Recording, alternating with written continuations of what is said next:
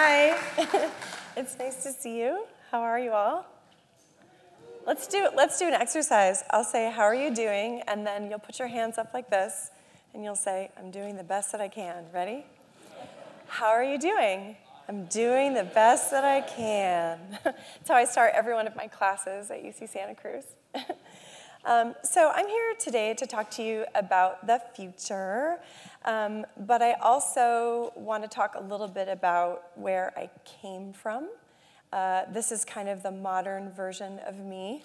Um, I was recently on Project Runway. That's what most people remember about me now. The most, most amazing thing I've done is judge other people's outfits. But um, I've also I've had a pretty broad career that's led to a pretty public profile in gaming, and specifically as a woman in gaming. Um, but when I was younger, uh, I started off as a grad student, and this is the very first GDC that I went to. So this is what games looked like in 2000.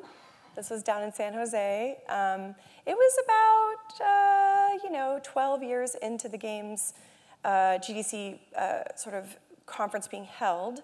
The first time that GDC was held uh, in 1988 in Chris Crawford's living room, there were 27 attendees. Uh, and in 2018, when I hosted the award show, there were 28,000. This year, there were over 30. Um, so it's been a big deal. Games have become a really big deal. And um, when I started going to conferences, this is what I look like. I was a graduate student in computer science and robotics at the University of Chicago um, and then Northwestern University. Um, I really had no idea that I was going to end up on stage giving away the Game of the Year award uh, 20 years later. So, you know, it's interesting to think about how that happened. Um, I began studying computers, games, and play from the perspective of robotics, and I was basically I graduated in three years and I had no idea what I wanted to do. So I thought, well, I'll just hang out in the lab. And then someone said, why don't you program some robots? I ended up working with the Sony Aibo, which I thought was fucking amazing. Like I was really excited to be able to work with these things. It turned out they didn't work so great. So um, you had to attach them to a Magellan base, which had a big battery, and there was a lot of tuning and physical issues with running the robots. And I started getting kind of frustrated with working with physical robots. It's not nearly as fun as it is today. And I ended up thinking more and more about the simulation component of what I was doing and the design component of what I was doing and getting fascinated by games. And so I wrote a paper with some friends of mine from school and a friend of mine from MIT about how to design games from a feeling perspective as opposed to from a mechanics perspective. Um, and started thinking a lot about what that meant for games and game design as a medium. Um, I have always been a person who's between things. I kind of think of myself as right in the middle between being a scientist and an artist, a woman and a man, a fighter and a lover. like I'm really in the middle. And when I was in school, people wanted me to choose. I was always being told to pick side, and I didn't like it. And so I started thinking about games, and in particular, games education, because there was no games education when I was trying to do this stuff. And like, what would an ideal program be like?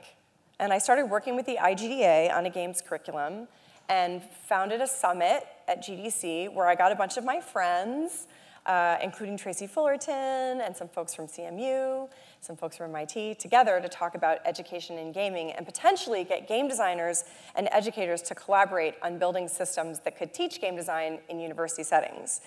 And that conference is still running. Um, it was funded by, uh, by EPIC in 2018, 2019, I spoke at it.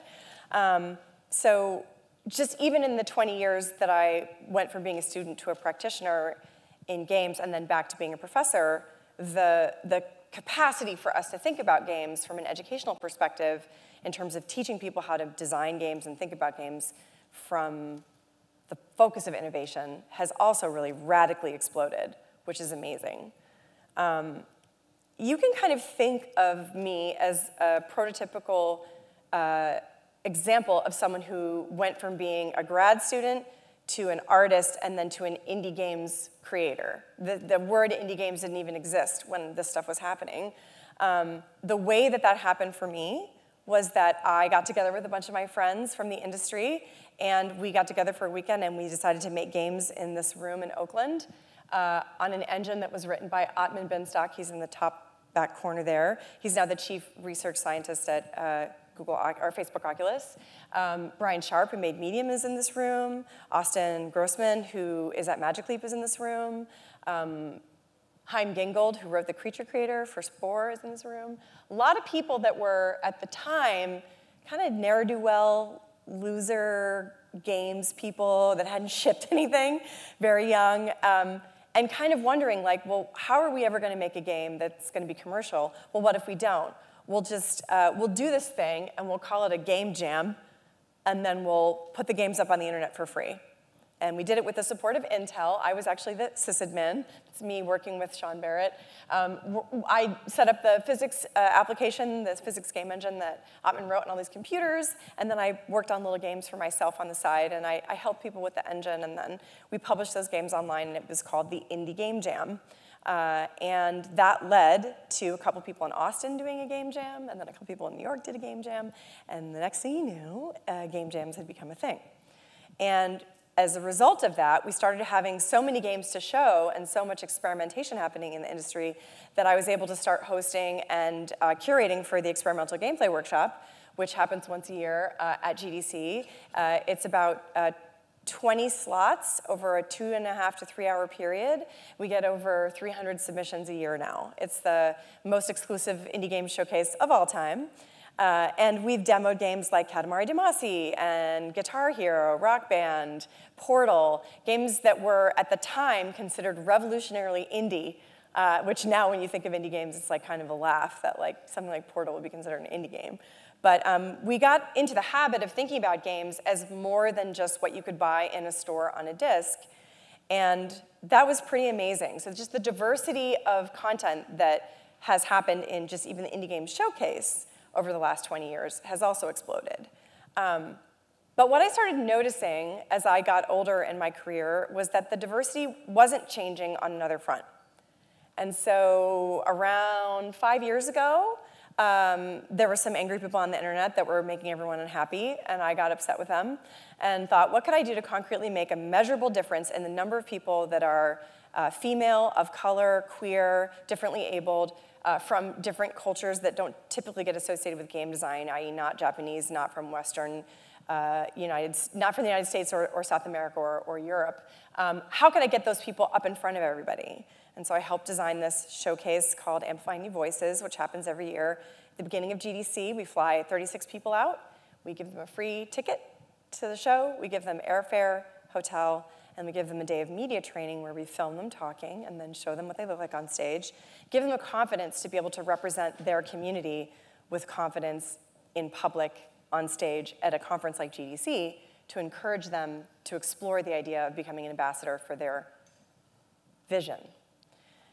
And at the same time, watched the curriculum framework that I had made with Eric Zimmerman and Doug Church and Warren Spector and Jason Della Rocca become the framework for many educational programs, and the Game Jam concept turned into stuff like the Global Game Jam, which served on the theme committee for that for about 10 years.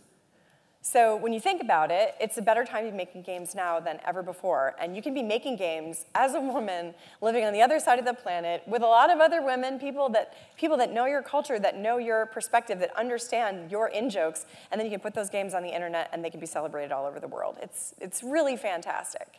Um, and I think that that's, it's a story that I've told before, but like it's very important right now to reflect on what that means for the future.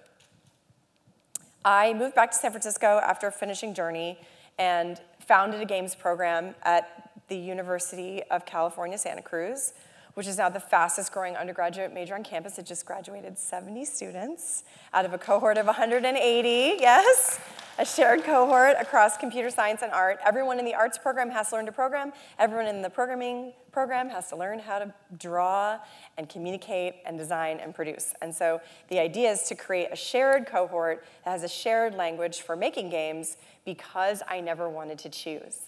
And I don't ever want my students to have to choose. Sure, they have to get a degree in design, production, art, or programming currently, but there's no reason they can't do both. And pretty soon, if we can get the university to allow us to offer both degrees together as a shared major, then they can graduate with both degrees. And wouldn't that be fantastic to be in the middle and not have to sell yourself as one thing or another. When I started making video games, you had to know a guy who knew a guy who knew a guy who worked at a publisher who knew a guy to get a game into a GameStop. And it was extremely narrow needle that you could have to get through to get content out. And as you were kind of hearing on the panel before, that conservatism influenced the kind of games that you could make. I still have never made a game with a gun in it, and I still only made innovative games. You know, MySims was uh, a game based on the Sims franchise where instead of hoarding stuff, you give it away. Like, someone let me do that on the Nintendo Wii, which is, you know, crazy. Um, Boom Blox won a BAFTA, you know? I mean, that's like, it was, a, it was innovative enough at the time. It's a game where you throw stuff at stuff and it blows up. so it's not, a, it's not a gun, but it's as close to a gun as it could be. And, uh, and it still was considered innovative at the time. That's how conservative the community of games production was. Games like Mr. Mosquito, or Dog's Life, or um, you know, any number of bizarre Japanese titles that came over and immediately went to the cut bin. This was, that was kind of the height of innovation. Like, oh, it's a game where you go to the top of a mountain in Tibet and it's spooky. Like, I would buy it, right? Me and like 10 other people in the United States. Um, but when you look at what happened to my career when I left EA and went to that game company, took over this five-person team, became the executive producer, and started running, running that team and building it and building Journey, like, Journey took three years to make, and when it shipped, it shipped as a digital title for $14.99 in a store, team of 12 to 15 people, about 15 at tops, making it. Um, it was like a $3.5 million budget, and it's sold millions of units, and it just went out on the Epic Store. So if you haven't bought it because it's on the PlayStation, now you have no excuse. You can buy it on the PC. Um, this game is the direct result of all of my efforts to innovate in how games are taught because all the people that worked at TGC when I arrived had all come from a program at USC started by Tracy Fullerton, who was at that education summit. It was a digital distribution method that was pioneered by things like the Indie Game Jam and Intel releasing games for free on the internet and showing that people had interest in independent titles, and that a weird physics game could do really well. And it was the result of those systems combining to reduce the conservatism and the tendency to focus on commercialization only in the space of commercial video games so that we don't necessarily have to feel the downwards pressure that would oppress away non-conformist voices about what experiences and games could be. Journey is a game where you walk to a mountain and maybe you meet someone along the way. And I can tell you when we pitched it, that was not something that people thought would sell. So no matter how you look at it, I would say that all of this is the direct result of efforts that myself, people like Atman, Brian, Doug Church, Chris Hecker, John Blow, there's a lot of us in the community that were like kind of at the edges and the fringes of the community, really wanting to see the games industry change. We pushed those changes forward and in many ways made those successful access careers and on-ramps to building the companies and the games that we wanted to make, right? Um, and that is a movement which has and continues to enable independent creators and supports creative expression in the face of more controlled systems of production and distribution. So after shipping Journey, I thought, well, what am I going to do next? Because I've already done the thing where I made the game that I really wanted to make. I was like, well, what if I made a company where I could hire another woman? I was the last woman hired at TGC uh, and I was number six. So I could never really seem to get women into the boat. And I was getting really frustrated with that. So I was like, well, I'll just build my own boat, and then we'll see. Funomena is uh, 30 people right now. We're about 60% non-cis white male. Located in downtown San Francisco. It's incredibly expensive. You want to cut me a check? Come see me after the talk. Um, we started making games that were known for being either extremely quirky and socially focused on ideas of connection, friendship, collaboration, and creativity, as well as sculptural experiences with music and sound that explore new mediums of expression like virtual reality and augmented reality. Luna, which has won numerous awards, is actually an old slide, um, will ship on the PlayStation and PS4 tomorrow. yes. So building content like this became the platform by which Funomena was able to express unique opinions about what it means to be creative and play together in new ways on platforms that had yet been colonized by the colonizer's perspective on what play and games and winning really mean. So that really sounds sexy, like working on emerging platforms. It sounds sexy, but like, what does that really mean? And so what this talk is about is that. Um, I think it's actually a much bigger deal than people realize. Um, when you look at what VR, AR, mixed reality, whatever you want to call it, um, is about. It's about altering the way we perceive right now. Um, and the example that I'd give you uh, to sort of get your mind thinking about this is, um, is coloring with crayons. Uh, how many of you had the experience of getting a coloring book and crayons when you were a child and being told to try to color inside the lines with the crayons? Show of hands. Okay, great. Um, how many of you have children right now that are in that age range? Show of hands. How many of them have learned to color on an iPad? Right. So on the iPad, you put your finger on the color and then you put your finger in the circle and then it colors, usually. Um, and if you have a fat little finger, you can kind of put it in the color place and it doesn't really work because it doesn't really register. So you're learning about color by selecting and placing. And sometimes you're learning to select multiple times because you think you didn't get it and putting it in. And what you're learning when you're learning that application is you're learning someone's perspective on that application. When you pick up a crayon made of physical wax filled with pigment and you rub it on a piece of paper and then you drop the crayon and it falls on the ground, you are learning physics.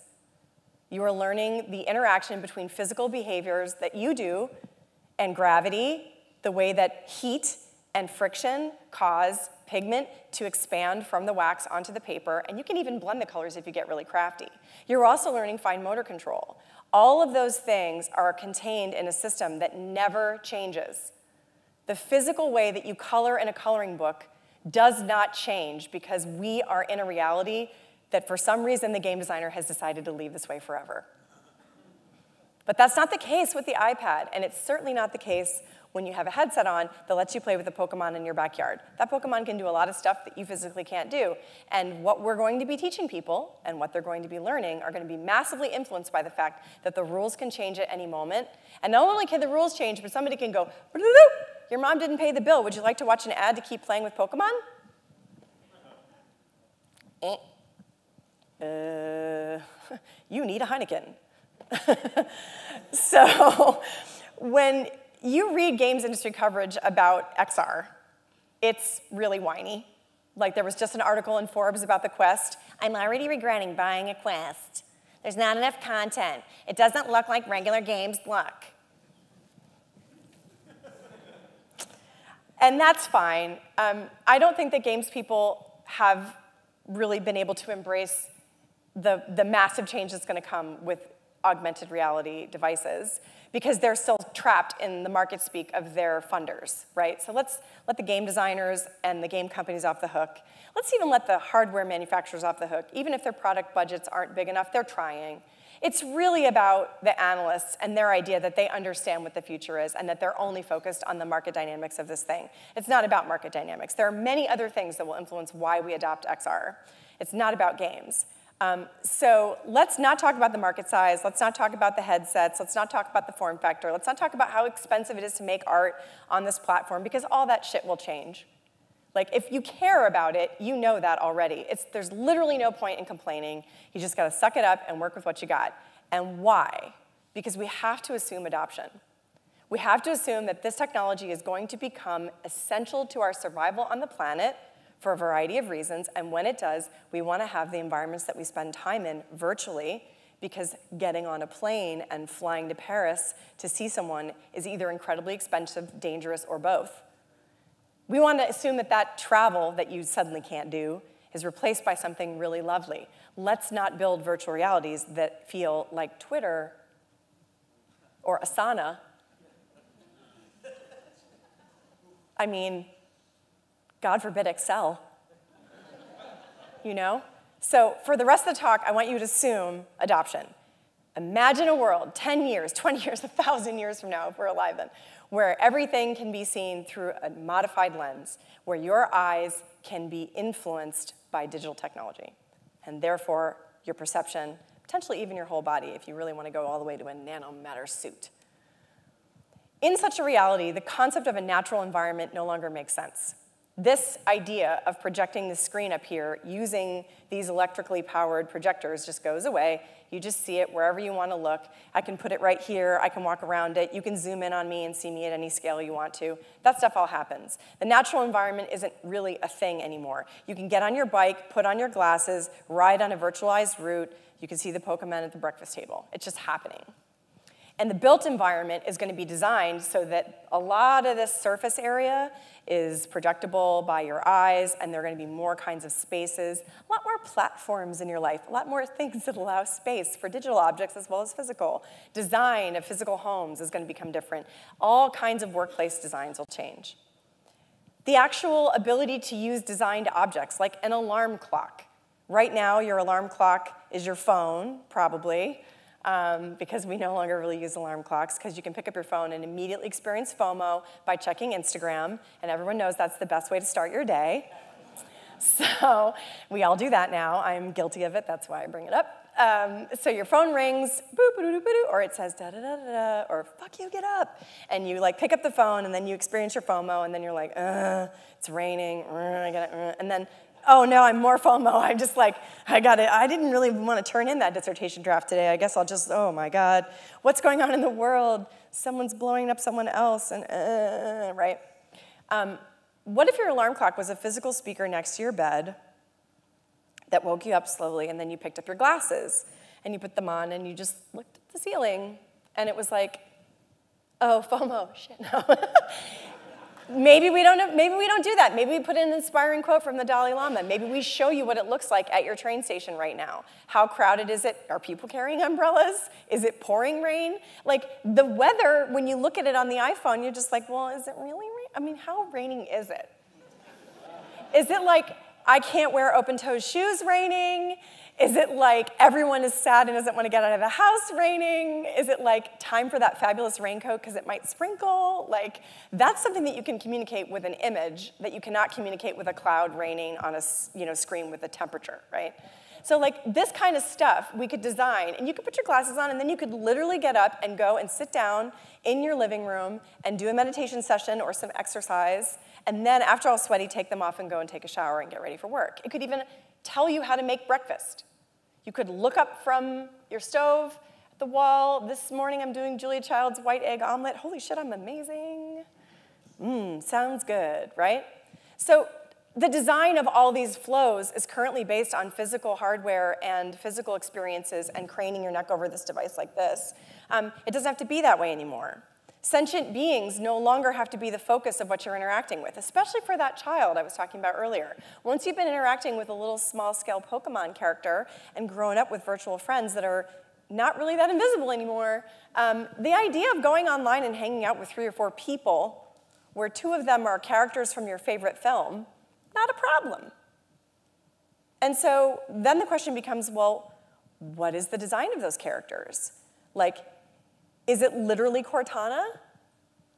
Like a fembot sexy girl and like a skin tight piece of clothing that kind of looks like a battle ready G string with a sexy voice who's like telling you that she's really excited about you have three meetings today. I'm so excited to help you get to Franklin, New Jersey. We're almost there. You're the love of my life. I mean, kinda, right? Unless, unless something happens, unless we decide to do something differently. The idea of physical distance becomes not a real problem anymore because you can res up your friend and have a conversation with them because it's, it's possible. It's just limited by bandwidth and, you know, we've solved these problems before. I mean, you know, I had a Newton, so I remember what the iPhone used to look like and what it was capable of. And now it's better than a tricorder. So, like, you know, we're really, we're getting there. It can't zap people yet. Maybe that's a good thing. Um, the idea of being able to spend time with other people, like I read recently about someone who had recorded their grandmother who has now passed away, and then they they rezzed her up and had a picnic with her. It's not such a bad idea. Which is crossing the barrier of time. What if I am a mom? I'm not, but what if I was? And I wanted my kids to remember to put uh, their lunches in their book bags before they get to school, but I just did a run and I got to take a shower. Well, I might res up the version of me that stands by the front door and says, Did you wash your hands after you went to the bathroom? Did you brush your teeth? Did you put your lunch in your backpack? And they got to see me before they get out the door. Suddenly, I'm able to leave messages like virtual messages for people that are a little bit more caring and a little bit more real. I'd love to read you this bedtime story. I'm not even going to be able to make it through the virtualized app that we have currently. I'm just going to record myself saying goodnight to you here. There are so many possibilities of what can be created once you assume adoption and you stop being so swayed by naysaying market analysts or journalists who think they know what the future of humanity is, who haven't even looked up from their desks long enough to real, realize that climate change, economic change, and the result of those two things together are radically going to transform the way society works. So, why don't we think about that instead? Well, it's hard to think about all those possibilities. It's so much easier to think about making another Pokemon. What's the newest, hottest AR app? It's like Pokemon, only you use Minecraft guys. Like, that's easy. It's product design, it's not designing reality. And you can't get away with that after a couple of generations of this stuff. Nobody wants it. It's like the equivalent of mindless. So, what I want to focus on in the talk, and what this talk is a talk that I've been giving for about a year now, is having a post fidelity mindset and actually doing the work of thinking about what it means to design reality. Like, it is really clear. This is Horizon Zero Dawn, my friend Angie's game. Huge success on the PlayStation. Just gorgeous. Runtime graphics off the charts, fogs, shiny robots. Yeah, she looks amazing. She's got great hair. You know, subsurface surface scattering on the skin. It's like, oh, you know, like, looks great. Like, we can do it. It's done. When I was in grad school, people dreamed of this. Oh, now we have it. But what does that mean? There's fidelity, but really, what is it? My definition of fidelity is that it is realism, so to speak, and that we've designed spaces that feel natural with a pleasing amount of density. They're not real. Like if you really walk around and look, that plant is a little bit too present in this area. It's enough that it doesn't feel like there's a gap. It's like stage design, right? You just want enough of the scrim moving so that you get the impression of the ocean. It's not really waves. Um, but it's enough that we feel okay about being there. And then there are these appropriate responses from the dinosaurs or the robots or the dinosaur robots or the people. And what you end up with is that it is a believable enough environment. That's what fidelity based game design and experience design and interactivity is about. We simulate that reality with physics and animation. So we've designed a bunch of really complicated tools to allow physics and simulation to, to, to, to, happen in real time so that we feel like the world is the same as drawing with crayons or as close to it as possible. And then we script the story and the emotional beats of that experience so that it feels like we're doing the right thing when we do it. But what we do when we do that is we often script actual choice. So we get designs like this, where you go from one place to another place, and then you get a decision, and then you go from this place to this place, and you get another decision. In the end, you always end up at six. Everybody ends up at six. And at six, there's a terrible boss battle and like you have to fight the guy and like or there's a proposal. And there's never a proposal at six. That's just not the games that we make right now but maybe someday. Um, but this is what usually happens in development is that we get so caught up building the ending in the beginning that we end up running out of time in the middle. And eh, it's not that choicey. It's like cool. And it feels cool. And i'm the hero. Or we do this a lot of different areas, this hot side stays hot and the cool side stays cool. Like you can move around, you can decide what you're doing. But you are the reason that the game moves along its emotional curves. So there isn't really any sense of drama. You know, it's like you have to give away that sense of authorial control and the curves and let people kind of manage their own level of activity. A game like The Sims would be a perfect example of this, except that it isn't. Because The Sims is actually a dynamic game. And it's a game that focuses on building systems that act dynamically. And that was where I started in game design and where I think we've lost a lot of opportunities, especially in this community. What is dynamism? Well, we have these living spaces that are changing. They have a satisficing density. It's not real. Like the original Sims, they walked around like this, you know, and like their get in for a chair was, you know, not very realistic, not very high fidelity, but it was enough because there was so much other stuff going on and they were doing interesting things with each other that you wanted to explore the space. So think about that. It's the opposite of the fidelity mindset. Instead of having a space that you don't really want to explore because it's just a bunch of the same tree, you just want to get to the dinosaur robot thing and kill it and then get the cutscene. You have what are they doing? Why is it taking its clothes off and having a sponge bath in the kitchen? I'm totally confused. Tell me more. So, this is a way of designing that simplifies the spaces and it simplifies the physics, but it simulates with animation actions and emotional responses in an interesting way that actually expands choice. And, you know, it doesn't look real, but it feels cool. Instead of this, you get this or this. One choice leads to several choices, which leads to several things, and then you get down here and you're like, oh man, I probably should have chose something else. Back out, start over, make a new family. Sorry, Dad. You know, do it over. Or this, which is every time you make a choice, you're changing the weights on the graph. So, you know, if you choose this a couple times, suddenly that, that branch is no longer to be available anymore. That character doesn't like you anymore. My favorite example from The Sims when I was working on The Sims was my first job out of grad school. I dropped out of my PhD at 32 to go work on The Sims. My parents were like, what? Um, my favorite example was I had a testing character named Tony Testrovoyevich who was like really, really, really intense. And uh, he ended up getting into a fight with an intense person, and they end up falling in love because they hated each other so much. I had no idea that The Sims had this setting. So when you think about this stuff, when you think about the kinds of games that we're creating, when you think about the ways in which games work for something like this, the question that I want to leave you with is effectively this Do you want to create this space? Do you want to build games that lead to this. There are so many amazing things that you can do on the headset.